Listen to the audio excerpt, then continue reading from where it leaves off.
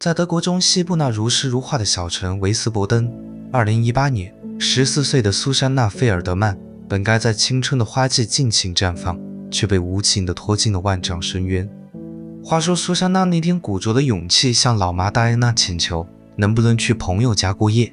戴安娜这位慈母心肠的老妈琢磨了一会儿，同意了女儿的请求，还不忘严肃地提醒她，第二天一早得送小女儿去托儿所。自己还得赶着去上班，所以苏珊娜必须的在早上七点前回家。可谁能想到呢？第二天上午八点半了，苏珊娜就像人间蒸发了似的，没影儿了。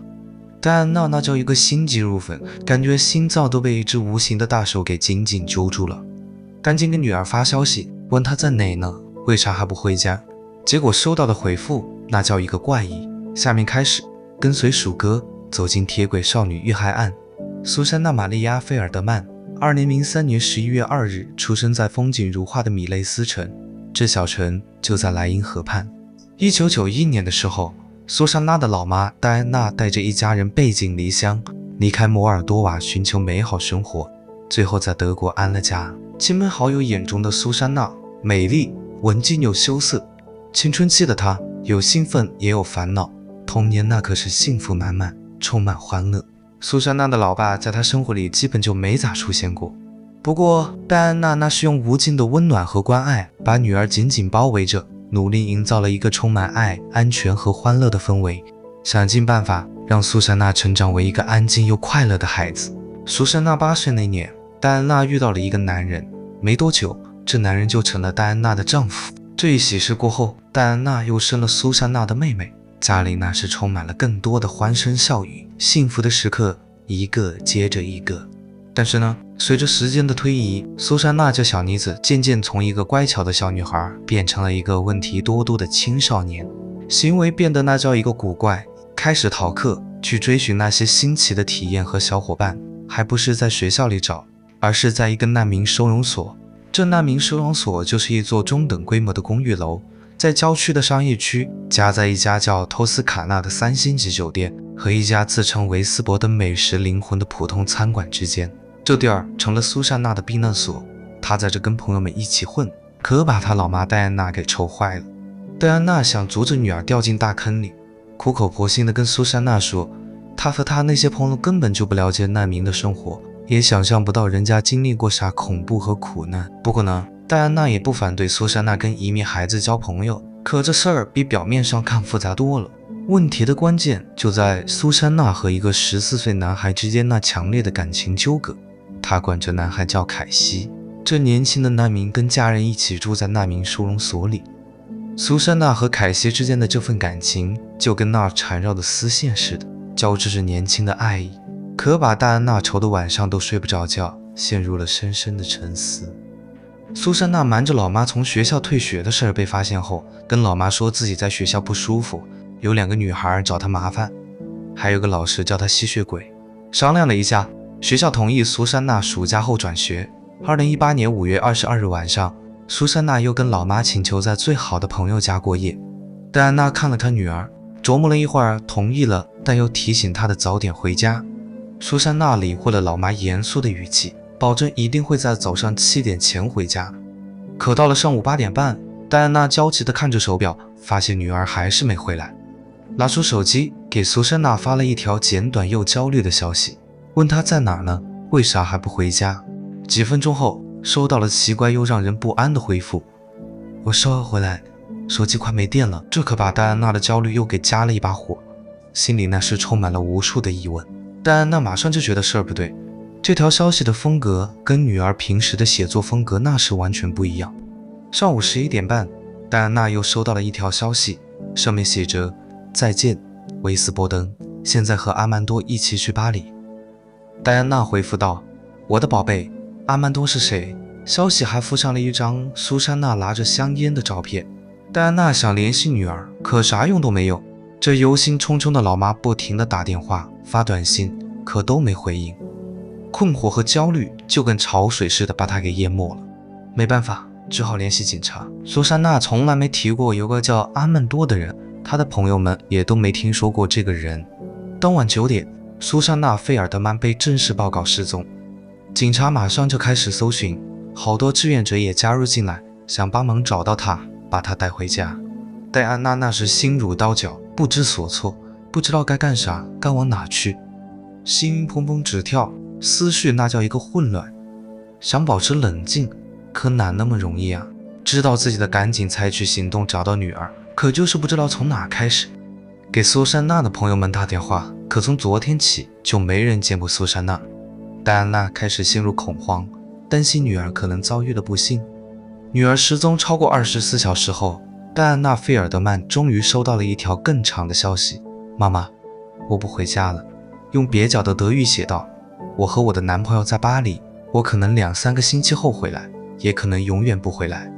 别找我。”侦探们开始调查，很快就确定苏珊娜根本就没在任何一个朋友家过夜。每次精心措辞的询问都证实了这个让人不安的事实。很明显，这小妮子对老妈撒了谎。实际上，在别的地儿过的夜。调查人员知道戴安娜收到的那些神秘短信后，得出了一个显而易见又最简单的结论：这些短信充满了暗示。分析了一下，侦探们断定苏珊娜就是离家出走了。基于这个假设，调查人员也没特别着急去找她。在接下来的日子里。戴安娜·费尔德曼不停地催警察多采取点行动，问苏珊娜的朋友们最后一次见到她是啥时候，还想让一家电视台报道这个案子。最后，在脸书上给德国总理发了一封绝望的请求。戴安娜知道女儿爱上了一个难民家庭的同龄人，而且看警察也没尽全力找苏珊娜，就去了难民收容所，就是巴沙尔一家住的地儿，也就是十四岁的凯西的家，苏珊娜深爱着的那个男孩。戴安娜满心忧虑，跟每一个家庭成员交谈，想找点线索，找到她失踪的女儿。巴沙尔一家的成员们很尊重又很敏感地接待了戴安娜，他们也知道事情的严重性。他们每个人都跟戴安娜说自己只是从电视新闻上知道了这个女孩失踪。在他们平静的声音里，戴安娜没察觉到一点欺骗或者可疑的地方。戴安娜注意到巴沙尔家六个孩子里的凯西不在家，可她老妈跟她保证。苏珊娜从来没进过他们家的门，这些话在戴安娜耳边回响，可一点都没给她带来安宁。戴安娜把苏珊娜的照片递给所有的邻居和熟人，联系了当地所有的商店和药店，还在每一根电线杆上贴了寻人启事。她的腿都不想动了，可就是停不下来，每一步都难走得很。可她的精神那是坚不可摧。志愿者、朋友、亲戚，甚至陌生人都加入了她的搜寻队伍。他们找废弃的房子。勘察城市公园，一天天的在这片区域仔细搜寻，心里怀着希望。可警察好像还是没付出足够的努力，只会说等他准备好了就会回来。但戴安娜了解自己的女儿，他不可能就这么没声没息的走了。在第三天，他们去了苏珊娜喜欢跟朋友们一起玩的公园，检查了每一个角落，走遍了每一条小路，问了每一个路人，可啥都没找到。绝望笼罩着他们。志愿者和朋友们尽最大的努力支持着戴安娜，可时间一分一秒的过去，还是没结果。不过事儿很快就有了大变化，从积极搜寻这个女孩开始，已经过了一周了，还是一点踪迹都没有，连个线索都没有。直到有个匿名消息来源告诉警察说，苏珊娜已经死了，被埋在城市海姆附近的铁轨旁。城市海姆是维斯伯登的一个区，巴沙尔一家就住在那里的难民收容所里。警察马上就开始核实他们收到的信息，把搜寻重点放在了嘈杂的铁路沿线。几天后，戴安娜意外地在她的一个社交媒体账户上收到了一条消息，消息来源是个匿名人士，说巴沙尔一家突然离开维斯伯登，去了多特蒙德，还打算很快离开德国。这消息充满了意外和诡异。为啥巴沙尔一家决定这么匆忙搬到另一个城市呢？他们离开背后藏着啥秘密呢？这可疑的地方越来越明显，引发了黑暗的预感和无数的疑问。可现在这些问题的答案还是不知道。在苏珊娜失踪让人痛苦又漫长的两周后，二零一八年六月六日，戴安娜·菲尔德曼听到了她这辈子最糟糕、最毁灭性的消息：苏珊娜的尸体被发现在铁轨附近的一条沟里，尸体被草草用泥土、树叶和树枝盖着，勉强掩盖着残忍的迹象。苏珊娜自己的运动衫被打成一个结，缠在她的脖子上。她的脸和身体上都是多处撞击的痕迹，证明了凶手的残忍。苏珊娜的手机、其他个人物品，甚至她失踪那天穿的运动鞋都没有。所有可能有价值的东西都被凶手拿走了。警察随后公布了一些关于对这起可怕事件的调查进展的细节。是一个来自难民家庭的十三岁男孩跟警察说了苏珊娜尸体的下落。他和巴沙尔一家住在同一个收容所里。巴沙尔一家有八口人，包括父母和六个不同年龄的孩子。苏珊娜爱上了十四岁的凯西，但这故事最黑暗的一面是，凯西二十岁的哥哥阿里，也就是我们今天要说的铁轨屠夫，他曾多次引起警察的注意，特别是他设计一起跟住在同一个难民收容所的十一岁女孩的案子。德国媒体上没这案子的信息，可阿里还逍遥法外。这就说明警察没收集到足够的证据，对他提出正式指控。警察还展示了他们对导致苏珊娜死亡的一系列事件的详细推断。二零一八年五月二十二日晚上，苏珊娜跟老妈说要在朋友家过夜后，实际上偷偷去了难民收容所。她计划在那跟凯西见面，可凯西不是一个人出现的，是和他哥哥阿里一起。后来发现，这阿里已经长时间密切跟踪苏珊娜。还多次跟朋友说他想跟他亲密接触，但安娜觉得凯西为了讨好他哥，故意把苏珊娜引诱到了收容所。一到那，在那些他几乎不认识的人中间，苏珊娜马上就意识到了事情的严重性。进一步的调查显示，在那个致命的夜晚，他给朋友发了一条绝望的短信，请求帮助。在短信里，苏珊娜承认她很后怕，她和阿里以及她的朋友在一个收容所里，她想离开，可他们不让她走。苏珊娜向她最好的朋友求助，心里充满绝望，相信在这个冰冷的世界里会有人能伸出援手。他的朋友是唯一一个知道苏珊娜问题的人，唯一一个知道她绝望处境真相的人，也是唯一一个本可以通过报警来阻止这场悲剧的人。但可惜命运不是这样，他的朋友啥都没干，让阿里的计划得逞了。在他黑暗的思想深处，他早就有了这些想法，现在。这些想法变成了现实。在跟苏珊娜亲密接触后，阿里知道不能让她走，害怕她去报警，于是就勒死了她，没给他一点逃脱的机会。第二天早上，苏珊娜的手机收到了她老妈戴安娜的消息。阿里一点悔恨都没有，拿起她的手机开始回复消息，就跟苏珊娜在回复似的。对他来说，这行为就跟一场游戏似的。他甚至把一支烟塞进了毫无生气的苏珊娜的手指间。拍了一张照片发给了戴安娜。警察还不知道案发现场在哪儿，也不知道安里的父母知不知道他们儿子的罪行。在处理了苏珊娜的尸体后，阿里那是狂妄的不行，他开始传播自己的罪行。在他的听众里有个十三岁的男孩，就是这个男孩告诉了警察在哪能找到失踪的苏珊娜的尸体。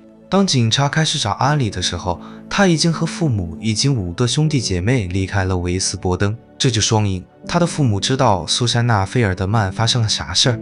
很明显，他们决定离开这个给他们提供了住房和福利的国家，可不是巧合。在调查过程中，又一个让人惊讶的细节冒出来了：巴沙尔一家八口在2015年10月到了德国，在边境口岸收他们每个人文件。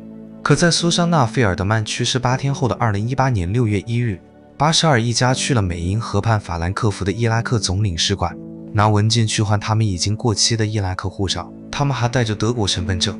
伊拉克文件上的名字和德国身份证上的名字不一样，德国身份证上记的是他们进德国的时候家人提供的名字。文件揭示了嫌疑人的真实姓名是阿里巴沙尔·艾哈迈德。换句话说，这铁轨恶魔一开始就撒了谎，用假名进入德国，带着虚假的身份在那儿生活。巴沙尔一家急匆匆地离开德国，飞回了他们原本的家乡。伊拉克北部的库尔德地区，在库尔德地区的一个小镇上，他们试图隐匿起来，继续他们的生活。可是这一切都在国际追捕令的压力下变得徒劳。德国警方迅速将阿里巴沙尔列入了国际通缉名单。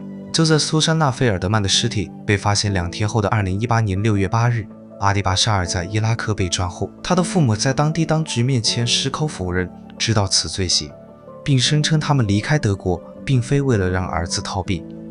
阿里的老妈说：“如果他真有罪，他不希望儿子在外国受惩罚。他说他应该在自己的祖国受惩罚。虽然德国和伊拉克之间没有引渡条约，可阿里巴沙尔还是被引渡回德国，并被指控。在调查期间，阿里只承认夺走了女孩的生命。说在那个晚上，他和苏珊娜一直在喝酒，还用非法药物。他说他们有自愿的亲密接触，然后苏珊娜威胁要报警，无辜的互动突然就变成了冲突。在愤怒的火焰里，他控制不住自己，犯下了可怕的罪行。可阿里巴沙尔的话被证明是又一个谎言，他想逃避全部责任。法医专家对苏珊娜的尸体进行了彻底检查，没在她身体里发现任何酒精或者非法药物的痕迹。戴安娜·菲尔德曼也再次批评了警察的工作。在苏珊娜于2018年5月失踪后，警察处理那份失踪人员报告时，那叫一个不紧不慢。戴安娜心里那个气呀，她直言道：“这帮警察就跟那没头苍蝇似的，一点都不着急。我女儿都丢了，他们还在那磨磨唧唧。”戴安娜觉得警察根本就没把自己提供的信息当回事儿，就比如说从女儿手机上发来的那些可疑短信，回来发现那都是阿里自己写的，明摆着就是为了掩盖罪行。可警察一开始愣是没看出来。二零一九年七月十日，阿里巴沙尔被判定所有罪名成立，当局怀疑阿里可不是单独行动，但也没其他人被指控，他在德国被判处终身监禁。不过呢，德国的终身监禁还有的说法。十五年后能申请假释。巴沙尔犯下了冷血的谋杀罪，既没表现出悔恨，也没一丝悔意。在审判期间，被告那是一句真诚的悔恨话都没说。苏珊娜的母亲戴安娜·菲尔德曼在长达近四个月的审判中一直穿着黑色衣服。当法庭听取这起案件的可怕细节时，她那眼泪就跟断了线的珠子似的，哗哗往下流。相比之下，阿里在审判期间那叫一个镇定，就跟个没事人似的。有个精神病医生在审判中作证说，被告有人格障碍，一点同理心都没有。今天的视频到这里就接近尾声了。案件让人们看到了社会的黑暗面，也让人们开始反思一系列的问题。德国的开放边境政策是不是有漏洞啊？警察在处理这样的案子时，是不是足够尽责啊？而对于戴安娜·费尔德曼来说，她的痛苦那是永远都抹不掉了。她失去了自己心爱的女儿，她的心里充满了愤怒、悲伤和绝望，但她也在努力寻找着一丝希望，一丝能够为女儿讨回公道的希望。那么，对于今天的案件，你是怎么看的呢？欢迎在下面评论区留言，分享你的看法。别忘了订阅鼠哥的频道，点赞并分享本视频。好了。今天的案件就到这里，记得照顾好自己，远离那些可能让你陷入麻烦的人和事。爱你们，我们下期再见，拜拜。